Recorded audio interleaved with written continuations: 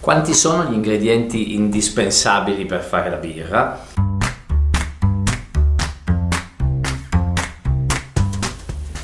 La birra ha quattro ingredienti principali che sono acqua, malto d'orzo, luppolo e lievito.